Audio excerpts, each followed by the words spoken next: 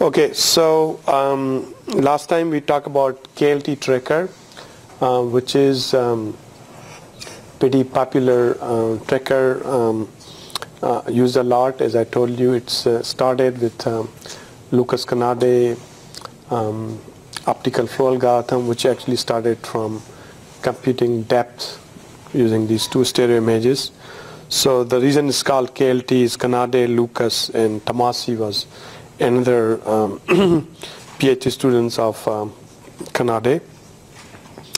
And uh, so the simple um, tracker, as I understand, is that you detect Harris corners points, and you have learned that how to do that, which involves the derivative of images, the fx, fy, and um, computing this matrix and finding eigenvalues and deciding whether there is significant um, um, corner there.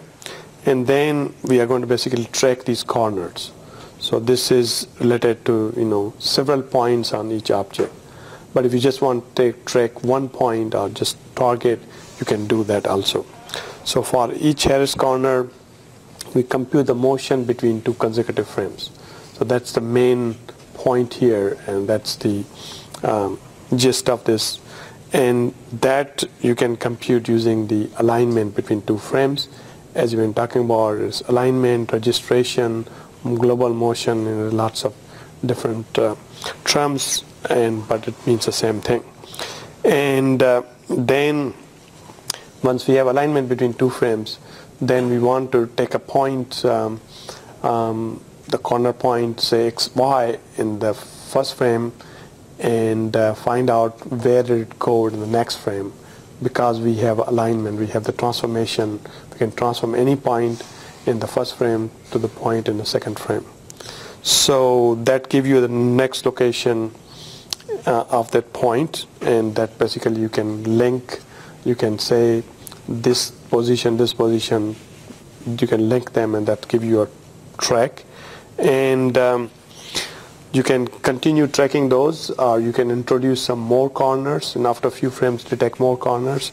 And um, then keep tracking these using these steps from 2 to 4, the old and new, new corners. Okay, so that's the simple uh, KLT uh, tracker algorithm. Now, in that thing, the main thing was this alignment, that how we can find this alignment of two uh, images or two pages. This, this is the one image and this is a template. And this was a simplified algorithm by Simon Baker and others. And the main point here is that we will take this um, image and we will uh, warp it with the initial estimate we have for this alignment. We will then have a template. We will um, subtract from the template which will bring in here and also find the gradient of the template. From there we will have also Jacobian and using these gradient we will compute these images and using these and this difference then we'll compute Hessian and combining all this thing we'll come up with the, the change in the parameter vector which is delta p and we will keep doing that several times until there's not much change and we stop there. So it's iterative method to compute this alignment and these steps which are shown in the pink are done only once and that will save a lot of computation. The, the steps which are done iteratively are shown with the blue and this is basically just warping that we keep warping this image depending on the new estimate we get and then we go through that loop. And this is, as we talked about, this is basically the same approach which we discussed uh, in Bergen, Adels method to compute a affine transformation and which you are going to implement also. And here also we mention that um, uh, if the motion is large then we do have to use a pyramid. But this assumes since it's a video um, from frame to frame the motion may be small so we should be able to do without pyramid in many cases.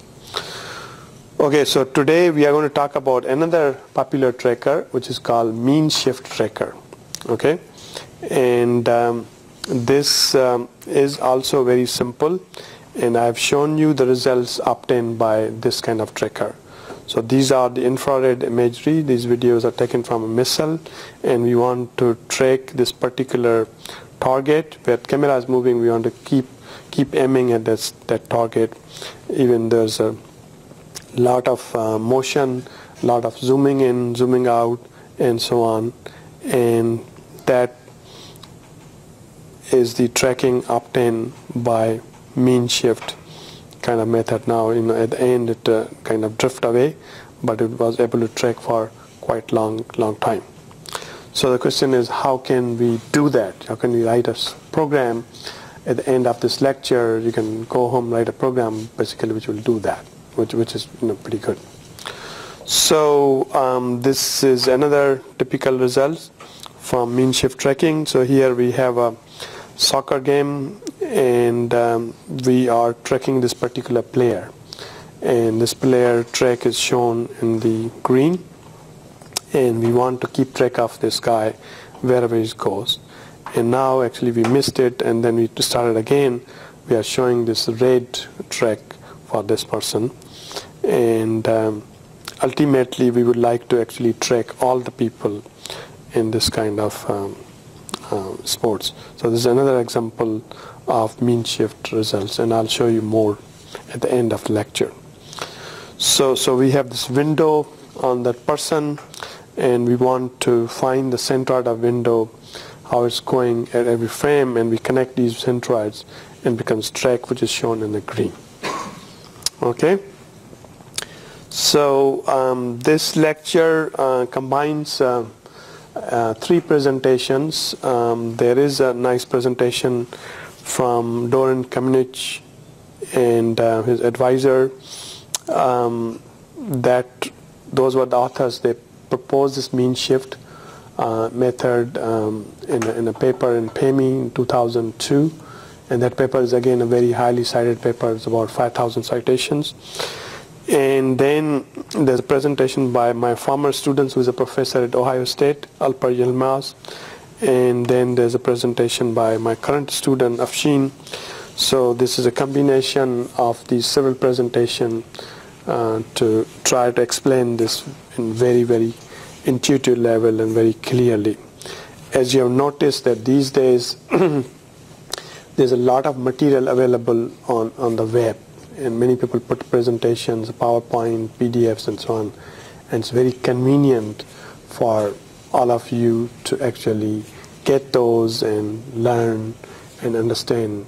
Uh, so, you know, there's a um, quote from Bill Gates, it's a best university these days is the internet because internet has all these, you know, great material available from all these famous professors, famous researchers there, and you can you know explore those, and you can uh, you can learn these things very quickly, even the videos and so on. But there's always um, you know some danger there because people have tendency to you know copy these presentations, the slides and images, and then mix together in the presentation, sometime we miss to give a credit, proper credit, who originally you know made this presentation or generated those.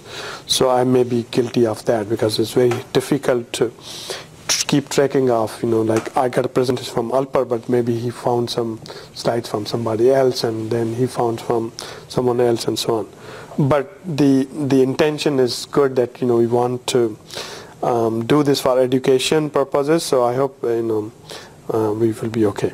Okay, so this is the mean shift uh, theory and the applications. So the idea is that we have these um, billiards um, balls.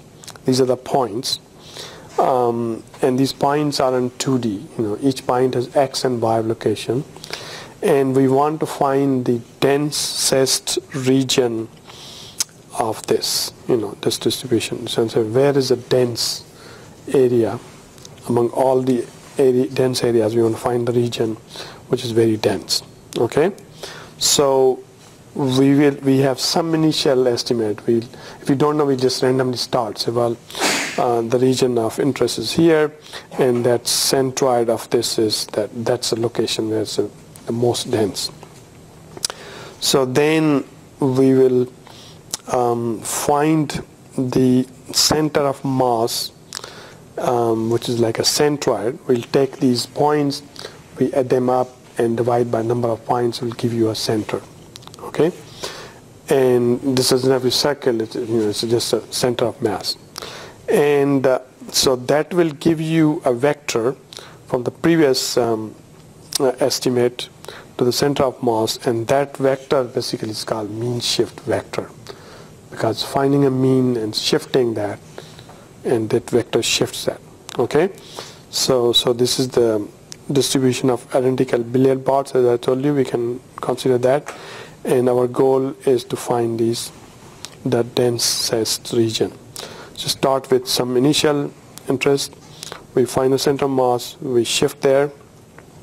Then again we look at the um, we, we shift there and then we again have this uh, region of interest then we find the centroid again and then we shift there and then we keep doing that. Find again the centroid move that and like that. Okay? So that process is giving us the mean shift vector how the mean is shifting and once it converges then that's that's is the region where we have the densest set of points.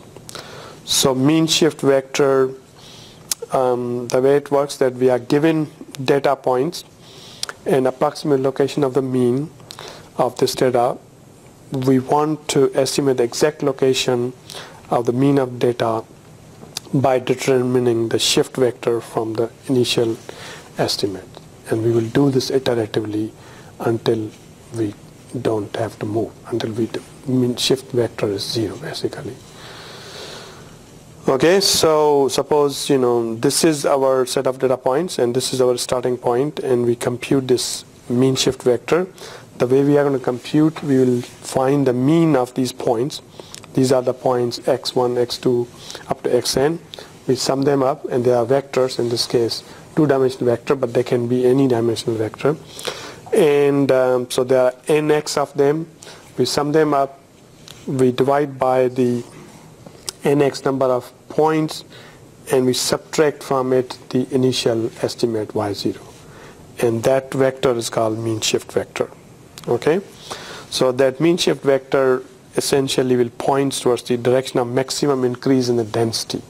You know, where is the dense you know set of points and as you see here it's pointing this in this distribution this is a dense set. So it started here but it's pointing to us one. And we'll keep going until we get the convergence where it won't move. So um, now this uh, mean we computed was equal weighted that every point is equal weights. So better way to do is that we assign the weights to each point. And so this is you know wi is a weight and um, that will be uh, dependent on the distance from the initial location y0 to that point. And um, so we then apply the weight and we then define the average. And since we are applying the weights so we'll sum up the weights and normalize by that as compared to normalize dividing by nx as we did okay? So then we again subtract from y0 and that is the mean shift. So here we have the nx number of points in the kernel in the region of interest as we had before. Then we have y0 which is initial mean and then we have the data points xi and then we have radius kernel radius which is uh, shown here h. Okay? So um, so now, you know, these weights are determined, there are different kernels. And we'll talk about that, you know, uniform kernel, which means we'll assign these equal weights as we did before. Uh, or Gaussian kernel or this uh, other Epanechnikov kernel from some Russian um, researcher. So now properties of mean shifts are that mean shift vector uh, is a direction of the gradient of density estimate okay so um, that is important and we are going to use that um, and it's computed iteratively as I showed you in a um, animation and we will obtain the maximum density in the local neighborhood. So, um, so this process is actually a very good tool to find the modes or the peaks in a distribution. Okay, and um, this can be used for the probability density function. So as you know that you are, we have already talked about probability density function of like uh, Gaussian. So you can get uh, some population, some height of people in this room, and uh, you have these samples, and then you can fit a Gaussian, a bell curve to that. So that's a distribution. Uh, then which means that I can find out what's the probability that um, uh, somebody in this room has the height, say, uh, six feet, you know, and somebody have, you know, five feet or something. So as you know that if it's a bell-shaped curve, then most of people will be the, at the mean, the average, and there are very few people will be very tall, very few people will be very short. So that's one distribution, and then other distribution is a uniform distribution. As we talked about, say if you um, roll a die, dice, you know, which is six possible outcome, one to six, then each um, face of the dice has equal probability. So there are, you know, equal uniform probability and so on. So there are many, many probability distributions or density functions. So uh, given this data, now what uh, we want to do and what is uh, mean shift is good for that it helps us to um, analyze the distribution which is not parametric. So these distributions, the Gaussian, the uniform distribution, Poisson and exponential, there are lots and lots of distribution. These are parametric distribution because we can write a formula. We can have analytical expression and we can define the distribution by those parameters. For example, for Gaussian, we have mean and the standard deviation, you know, and if it's multidimensional, it's a covariance matrix. So uh, then becomes simple description of the density function.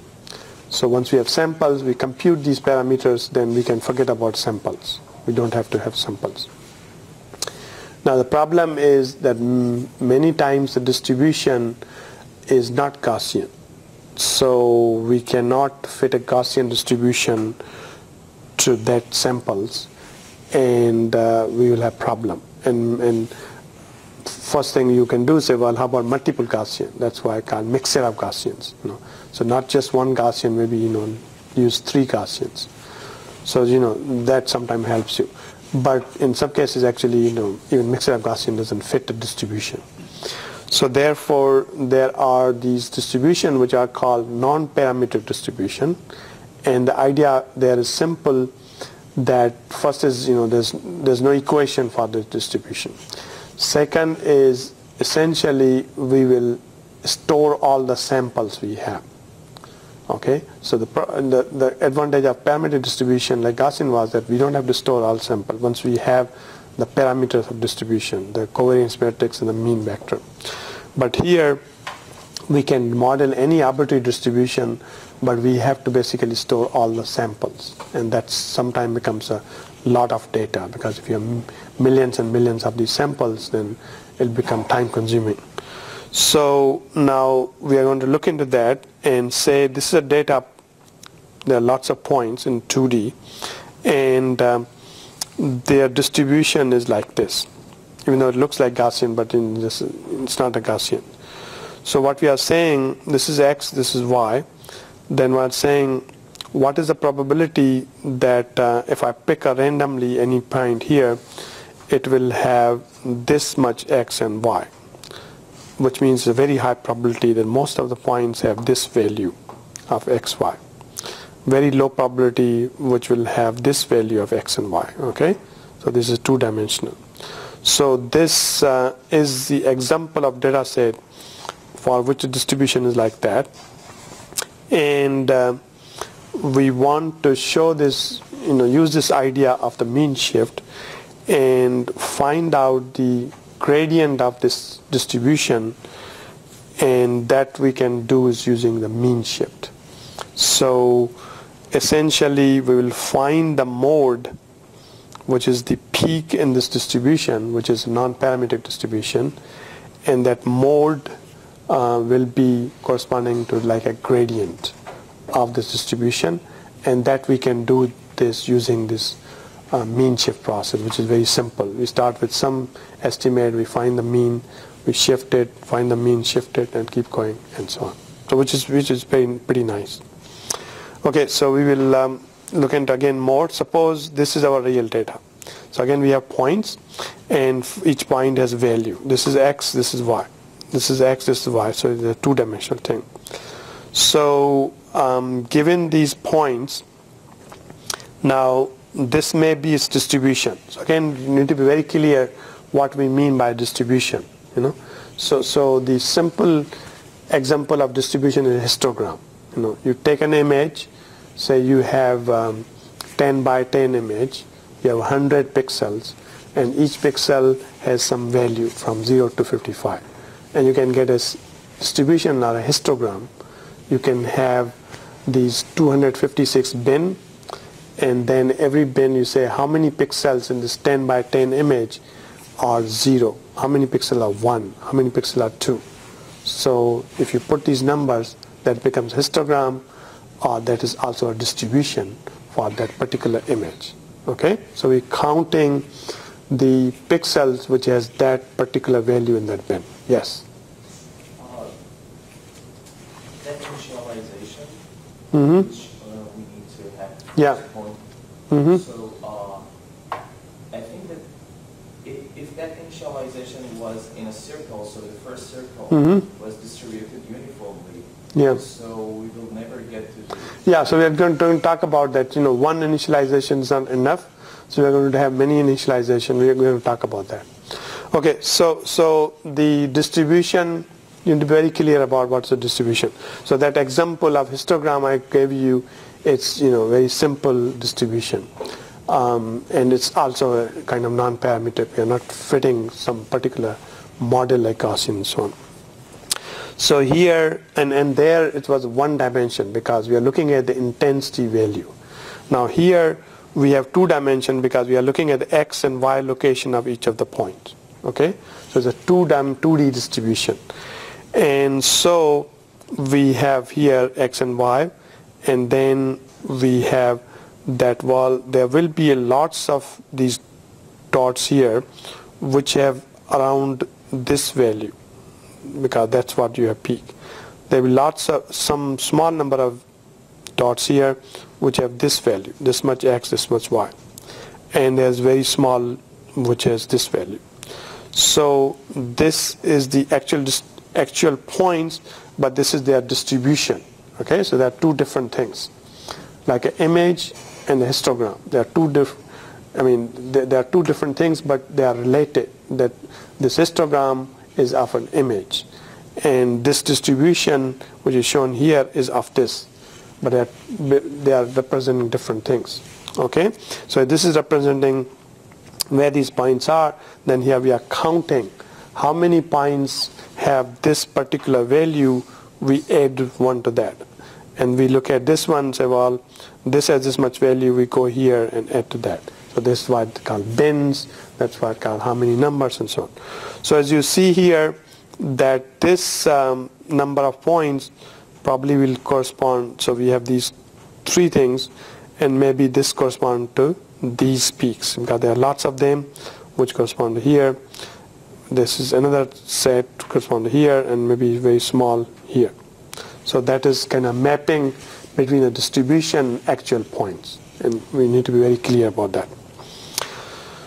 So um, the data point density implies the PDF value. Okay, so so that's another visualization that you know we can take a bunch of points and we have a height proportional to how many points we have there. So we have several of the height there. We have fewer here and we have you know one or two here. So that's kind of reflects what the density is. And we can ha- even have the for each of the point we can have you know that much uh, height for for that and apply a weight and so on.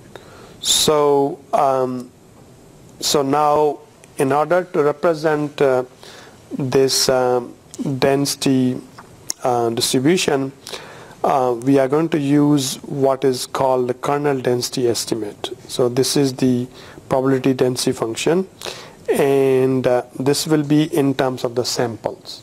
So these samples are the U1, U2, U3 and so on.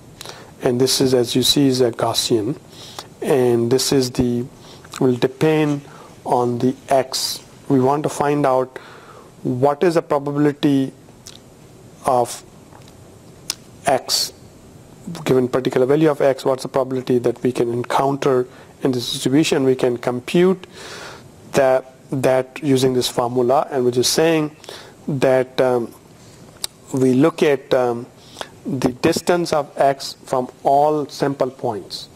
So we look at distance of x from u1, distance of x from mu2, mu3 and so on and proportional to distance from the x we are going to do the exponential and we'll add up all these basically finding the probability of particular x will be all the points will contribute. And the contribution will depend how close they are to the x okay? So that's what we have this distance. And this is called the density estimation. And uh, so we need to estimate these these things for this particular density estimation. So now in this notion the important um, thing is this notion of kernel. And so um, the as you saw before here you know we are having kind of Gaussian kernel here. That this kernel will tell you that depending on distance from x to these data points how much weight I want to assign. And here we do the exponentials like a Gaussian. Yes Does this formula assume that there's independence assumptions that we use for the data point? Yeah, I mean data points not really, you know, it's it's saying um, see the, the the it is a density function which represent a, a particular random variable. So it has these samples and we are assuming that there is some density function. It's a one random variable. In, in this case is a vector x1 and y1 and these are the samples of that. So this independence notion doesn't apply to this one because if you have two random variables then you can look at it. Because these all are samples of one distribution. Okay? So now, so we want to say, well, how we assign this weight? How do we assign this weight using these different kernels? So one is, as you saw, it's like a Gaussian. So this is called Gaussian kernel or normal kernel. So it'll depend on this distance, you know, x squared and then exponential some constant. Then, and it looks like that, and you have seen this one. Then this is the uniform kernel that will apply uniform weight depending on, the, you know, whatever distance is, it's the same weight. So that's what's shown here, the constant C. Then other kernel is uh, Epanechnikov kernel, which is a little different, which looks like that, which is that's 1 minus x square, you know, norm of that when x is less than equal to 1. So these are different kernels and there are lots of interesting, you know, theory about that, but we want to get a flavor of what are these different ways we can apply the weights and uh, um, we will be using these as we proceed. Okay? So now there's another notion of this called profile. So we have a, you know, these radial, radially symmetric kernel as you see, since we are using a norm here, so this is really symmetric, you know, x square plus y square, suppose in two dimension, it'll be, if they are in same distance, it'll be the same value, you know. So, um, so these are radially symmetrical um, kernels and this thing is called a profile, okay? And um, so therefore, the probability density function, first we were representing this in, in general and using any kernel. So we take the data points x1 to x2 to xn and then we want to find our probability at particular x. So you find a distance from x to x1 x to x2, x to x3, and that depending on the distance, we compute this weight and we add it up and that becomes a probability.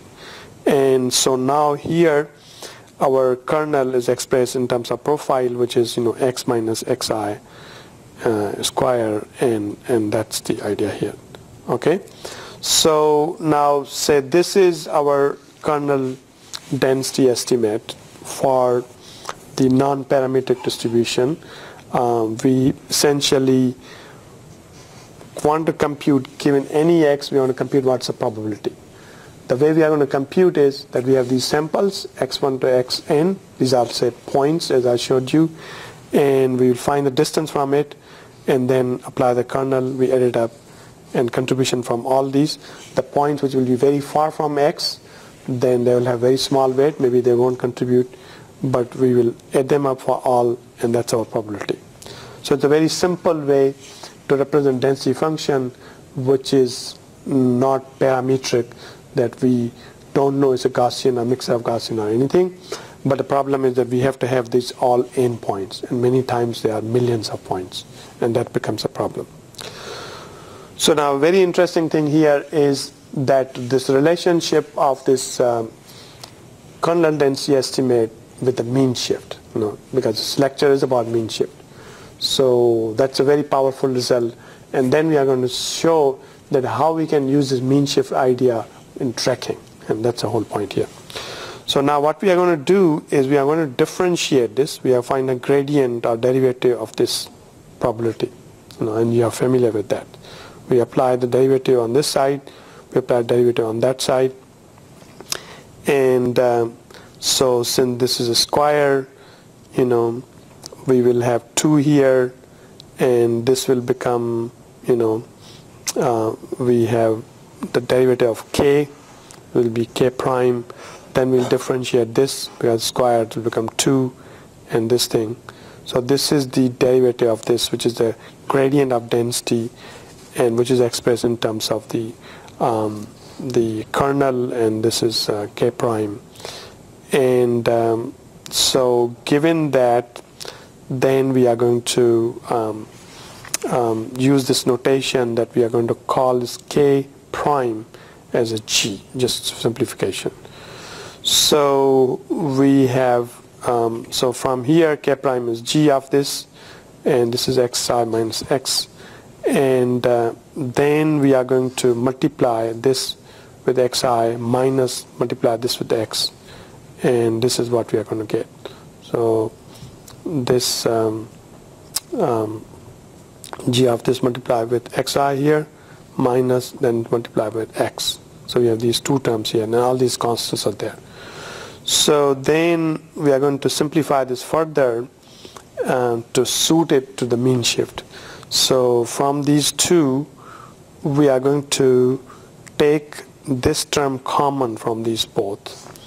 We take this outside so um, this will become xig and this whole thing and we divide by this so um, that is one term from here.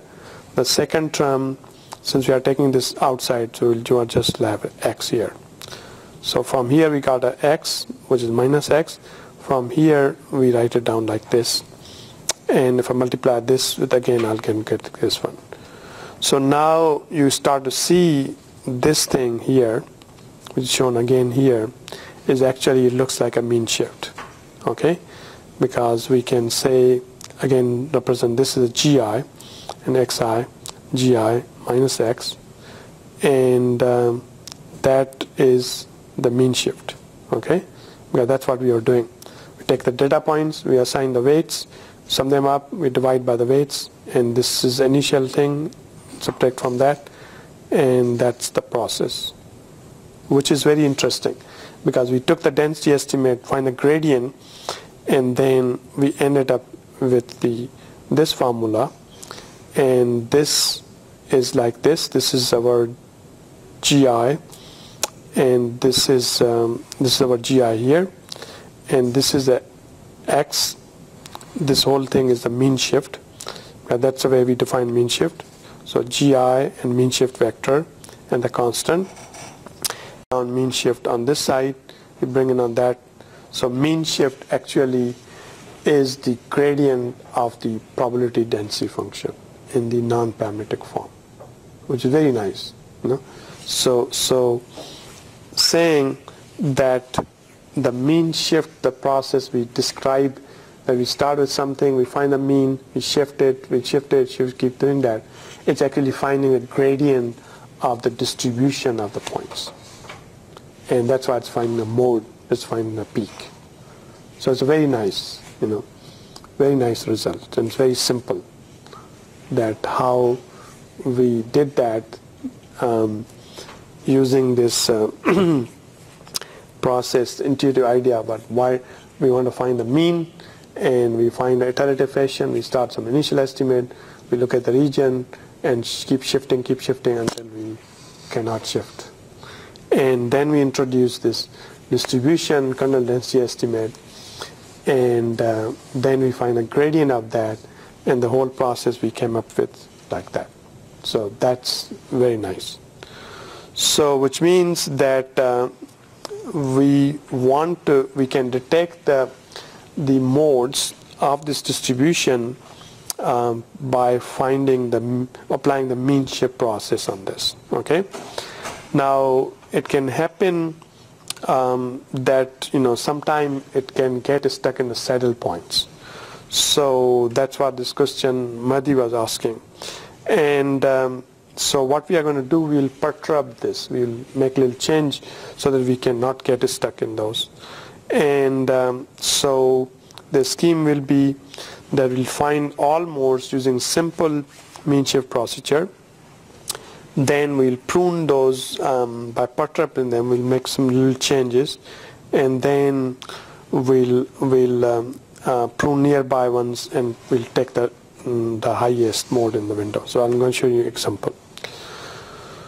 So, so the properties are that we can find the automatic convergence of mean shift. Um, um, it depends on the size and gradient and we can you know do the near maximum uh, and when we get a near maximum the steps will be small, small and fine and um, and there's a proof that this convergence is guaranteed, that it's it's going to you know happen, and especially for the uniform kernel, uh, and convergence achieved in a finite number of steps, and normal kernel, you know, we can have a, a smooth trajectory, but it's slower than uniform.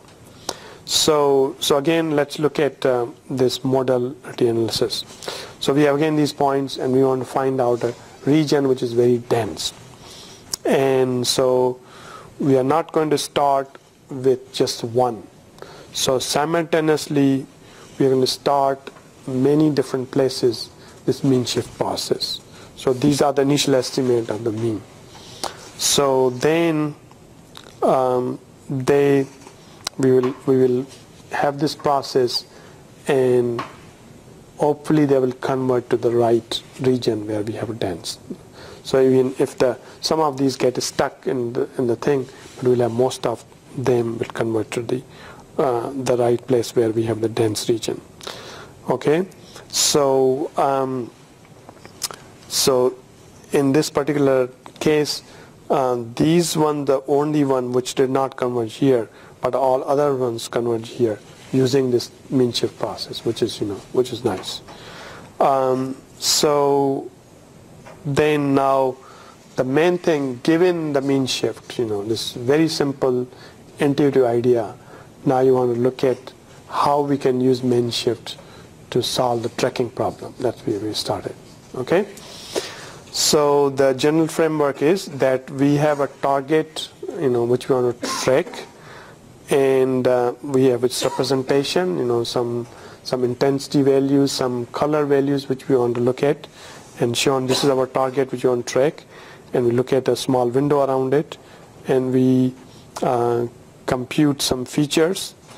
And these features can be intensity, the gradient, the color and so on. And then um, we want to um, come up with a dis distribution, a PDF. That's where we are going to apply this mean shift idea. So we'll compute features and it can be simple intensity values or color. We'll get a histogram of that And that becomes like a PDF.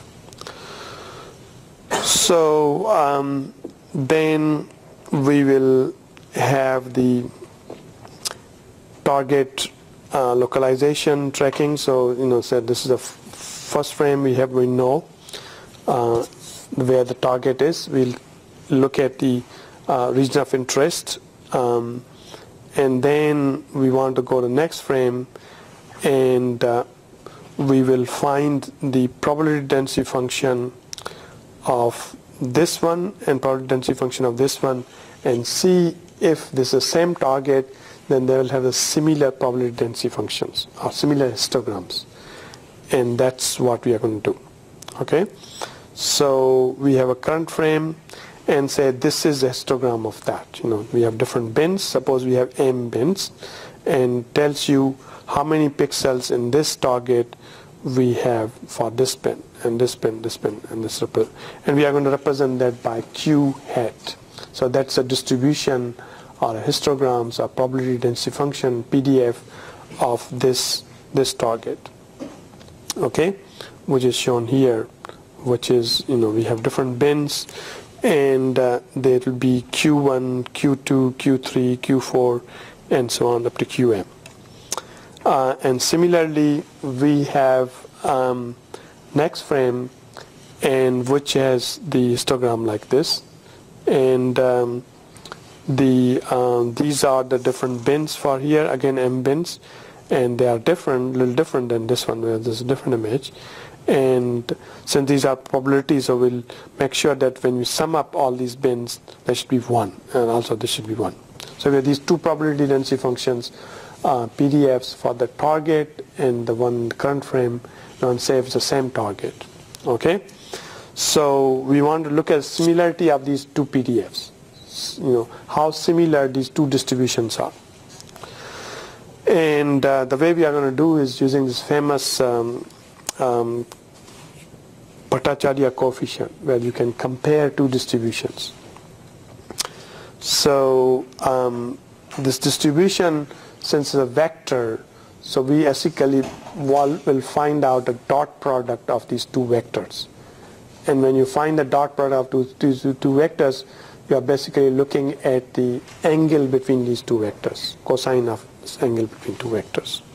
And um, that's what we are going to do. Okay? And um, so the what will this um, amount to that this function which will be maximum when these two distributions are similar we will have to find out where this function is maximum where what's the mode of this function and the way we are going to find the mode of this function will apply mean shift process that's where we are going to do that okay so so we have a target and model we'll use as a gray level or color, any, any gradient features and so on. And then the, we'll have distributions of those features. And we will get a histogram, there will be a weighted histogram as we talked about. Um, and uh, we are going to use the weights using this kernels, which, which I showed you before. So here is the uh, more concrete example of how we are going to find the distribution. So let's say target is around here. And um, then we are going to look at, you know, this is our like um, center. Then we are going to look at the, and we have different bins. Okay, so we are going to look at, you know, what is the probability of what's the value of bin at u. So we will go through this target and find out what pixels have the value u, that particular bin. So we found out this pixel, this pixel, this pixel have same value. Okay, and uh, we'll find our distance to each of this pixel from the center, and that will be computed from this um, kernel or the weight. So then we are essentially going to add those, and this is the representation of that is a delta function. Uh, delta function is uh, 1 when this u is, is equal to that intensity value at that xi. So if they are equal, then this will become 1 and we will add up these distances and that will become probability of at u. And when the, they are, this is not u, these intensity values are not u for other pixels, we are not going to add those. And we'll take another value of u. Again, we'll go through this and find which pixels have u value. We find those pixels, find the distances, add them up and do that. And this is the way we are going to generate this probability density function which is weighted histogram essentially for the target and similarly we are going to generate for the um, the um, the candidate um, in the current frame. And uh, this we will call one of them will be P other will be called Q. So when we plot it in this P you maybe look like that. But this is the discrete version the way we are going to compute for every bin. Suppose we have m bins so we'll compute p of 1 p of 2 p of 3 and p of m will be values. So here's an example that if you take a image this is histogram of the image.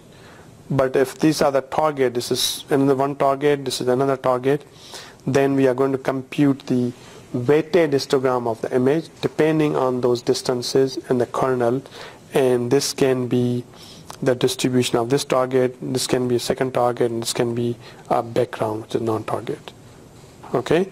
So now we are going to look at the similarity of target distribution and the candidate distribution because that's where we can do a tracking. Because we have a target here we are on our next frame so is it similar?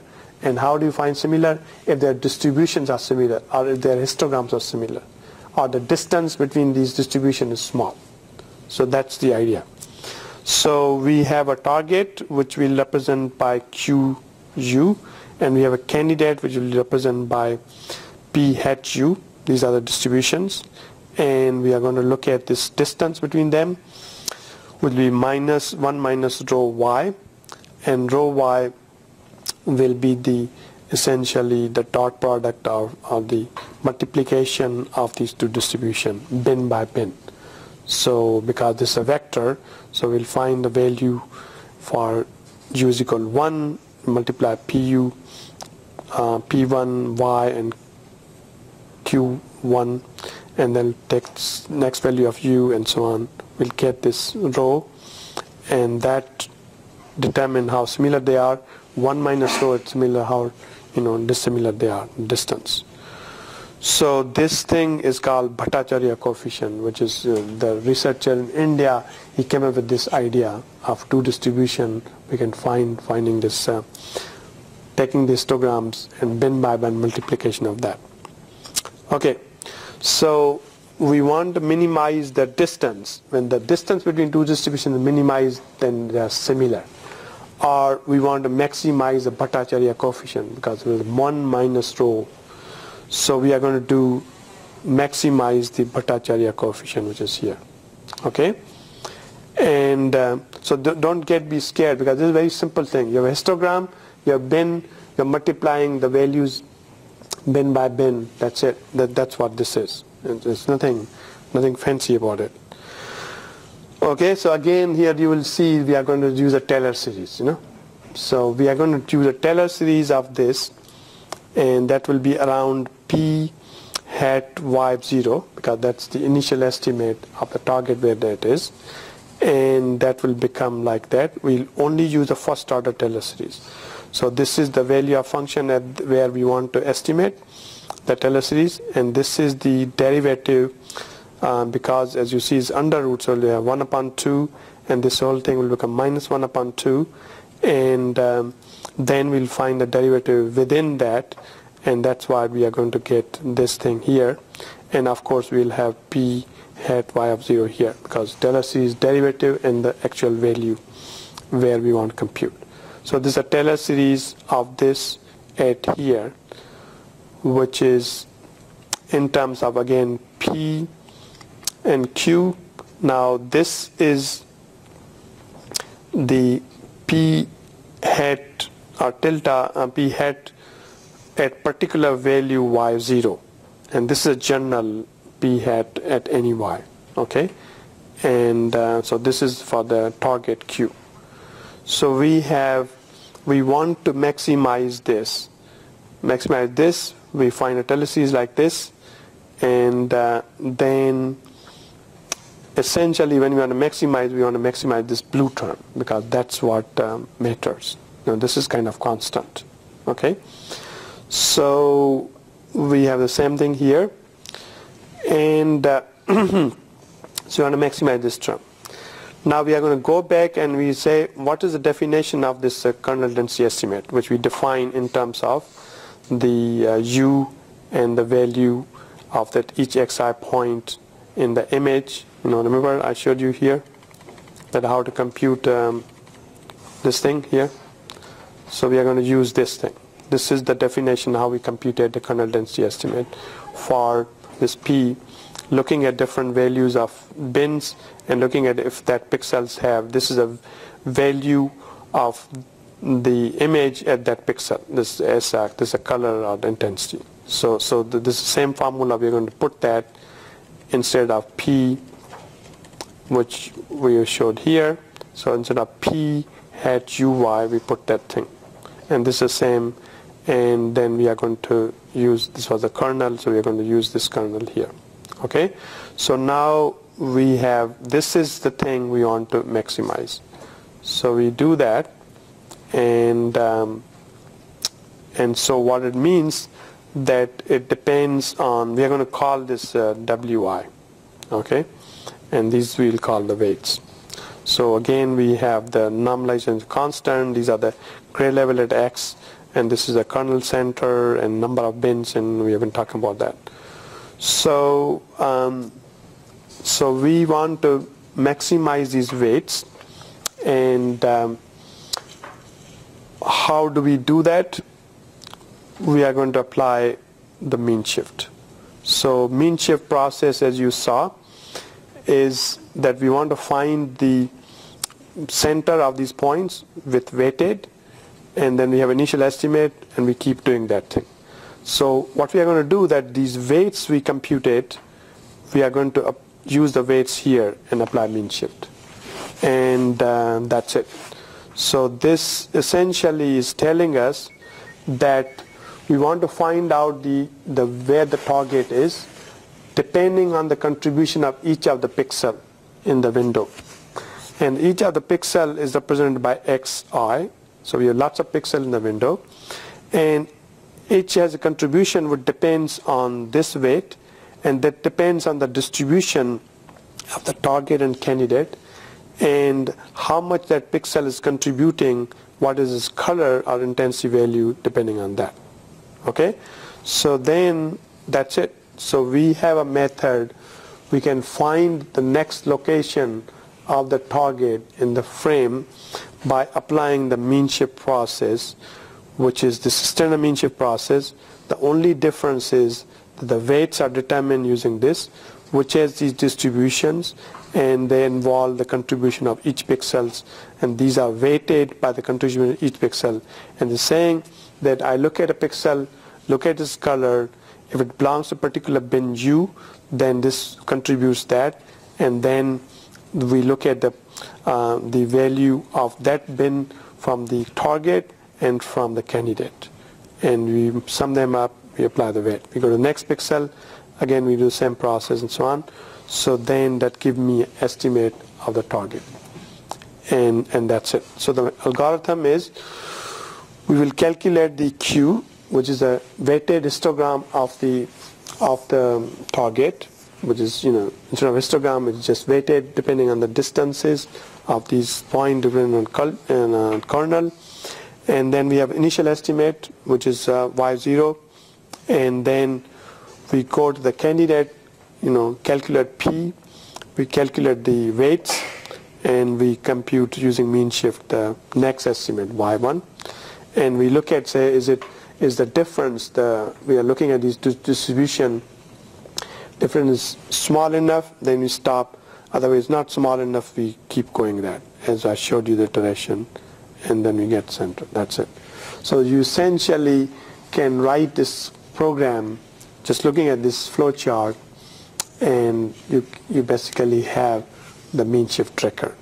And if you do that, then you can basically do this, that you can keep tracking that target using this. And it is just looking at the distribution of the, here is intensity, there's no color, and um, finding this thing, the next location in iterative fashion, uh, finding this vector, how much you want to shift, how much you want to shift, and you know, keep doing that. And the shift depends on this contribution of each pixel and the what's the target and what is the uh, candidate. And there are lots of results, and this because this is a very popular method. Um, and this I already showed you. Uh, let's look at this one. So this is actually very interesting. So there's just just ball moving, and you know you can keep tracking using that.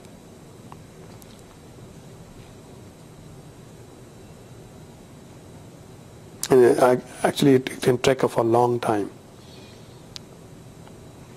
I mean this in a very simple case because the ball is pretty visible, it's very red, it's very different from the background, so it you know it, it works pretty well. Um, so again, the features are important here. That uh, you know what you um, use. So is this done? Okay. Let's look at this one. Similar, I think. Here the background is a little different. The ball is small.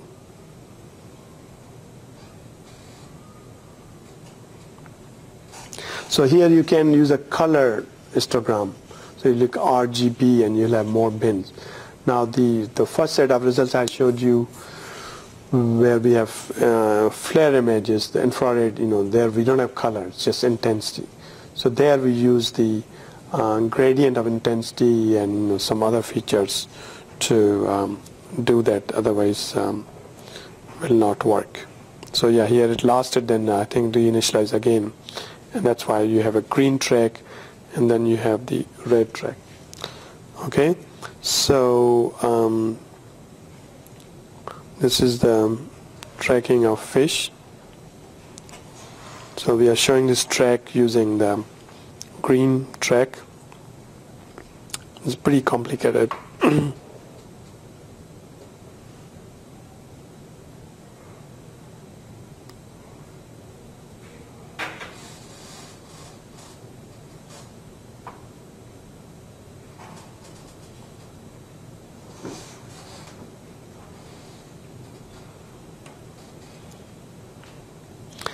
mean, it's not stable, but at least it's always on the person.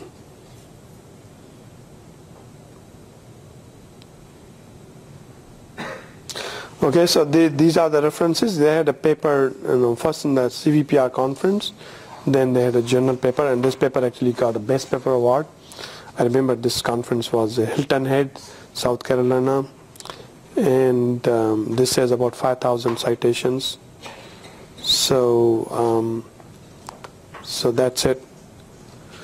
How does deal with uh, like scale? Like if you have an object Mhm. and you're tracking it, like Yeah. it starts taking up a larger portion of the image or a Mhm. portion of the image. Yeah. So, so one way to deal with is that you know you want to change this area of region of interest, as we were doing. So there's a whole notion of what should be that region of interest, and that's also called bandwidth. So um, then you want to try these uh, different region of interest, you know, and that way you can deal with the scale.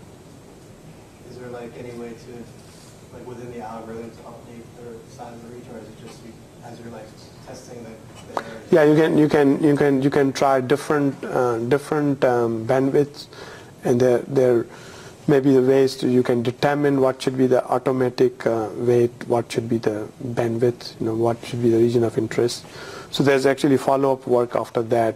People have uh, looked into that to deal with the scale issue. Any other question? Yeah. Given the application of this method in topography, Yeah. where we are actually analyzing the intensity values of color levels, Mhm. so would be having different players having wearing the same color dress. Yeah. How we are going to distinguish specifically between the players.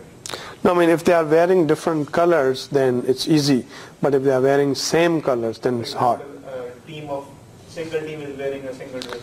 Yeah, same color, then be a problem. Yeah, yeah. So that's why see the tracking in um, in a soccer uh, will be hard because the people look the similar. So you are using only color color information, so it will it will not it will fail many times. Yeah. Are you saying if the if two players are wearing the same color run past each other, is it possible that they could the other? Yeah, yeah, because see the, so right now we are talking about just single object tracking, you know. So, um, and ideally it works pretty well if there's a single target as you saw here, you know. So we have just ball, you just keep tracking. There's no occlusion, there are no other objects and so on. So it works pretty well. But in real life versus you'll have occlusion. You'll have other people will go behind it. Uh, other thing is that you you need to track multiple objects together. So you will have to do something on the top of this that you will do the mean shift on these each object and when you have problem you have to resolve. So it's called multiple object tracking. But this is more more suitable for just tracking a single object. Okay, more more questions? Yeah, go ahead. Usually, uh, in important games, uh, when, when a player is going out from the field, let's say in soccer, Mhm. they end up by, uh, the, let's say this guy has run about eight kilometers. Mhm. So do they use something like this to find, uh, because if you can keep, take the track of the movement Mhm. of that guy Yeah. during the period he's in the Yeah. field, so we can at the end say how many kilometers Mhm. he has played. Yeah. Yeah, I mean, so see the this. the the point is that if you can track players, you can do lots of things, including you can say how much, you know, how many miles, how, how many uh, feet somebody has covered, and, and and so on. It's all these things are possible. So of course there you have to do some kind of calibration, some kind of conversion from the pixels to meters and feet um, and uh, the depending on where the camera is, there will be you know distortion and so on. But yeah, I mean you can do lots of things. But but the tracking in these kind of um, you know examples, it is still is not not that easy. Suppose you know you, you don't have anything working uh, where you can track every player automatically. You know, uh, still it's a pretty hard problem because of these videos you get um, from say broadcast, you know, the sports broadcasts. Then there's a lot of camera motion, you know, cameras moving, zooming in, so on. There are lots of many, many people, so it still is a, is a difficult problem. Okay, more more questions?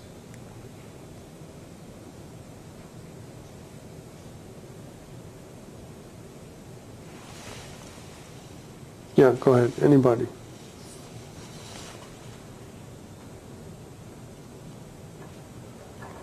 Yes. So this is the algorithms. hmm? So let's see who is brave to implement this thing. So it's pretty simple. So you, know, you take a video and take a window, that's what you want to track, get histogram, get weighted histogram, and compute this uh, weights using this um, formula here and put in this mean shift, you are done.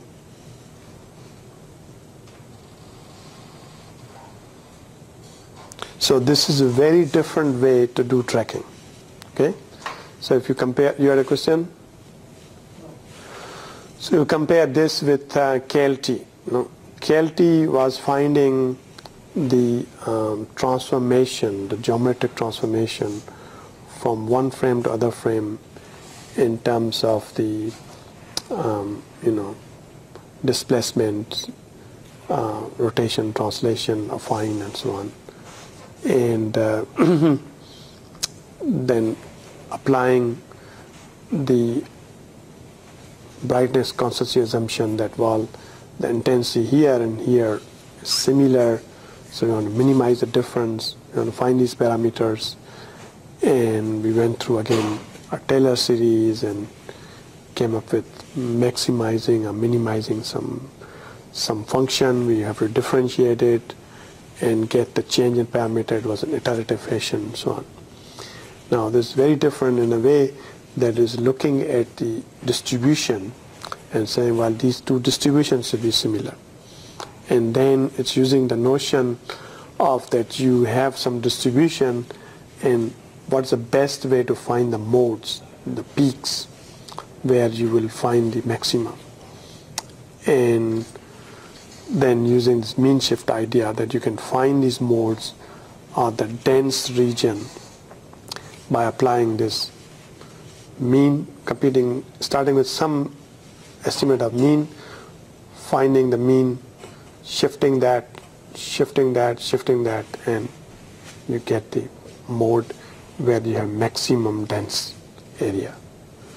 So all this is you know very mathematical it's very intuitive and actually it works. So that's you know that's very very nice uh, thing